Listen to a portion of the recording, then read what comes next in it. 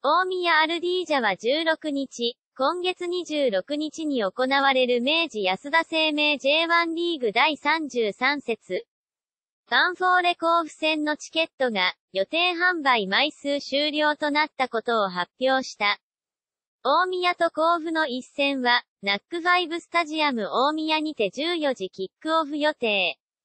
大宮は16日、同日19時時点で、予約販売分を含め全犬種の販売予定枚数が終了したことを明らかにした。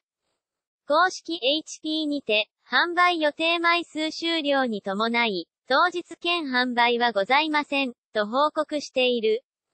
なお、予約流れが出た場合のみ、そのまま販売させていただきます、とも伝えている。今季の明治安田生命 J1 リーグ第31節を終え、勝ち点24で17位に沈んでいる大宮。3試合を残し、15位、バンフォーレ甲府とは4ポイント差となっている。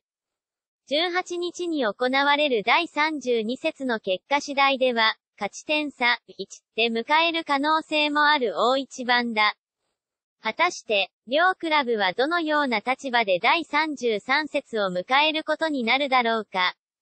第32節では大宮はベガルタ仙台と、甲府はアルビレックス新潟と対戦する。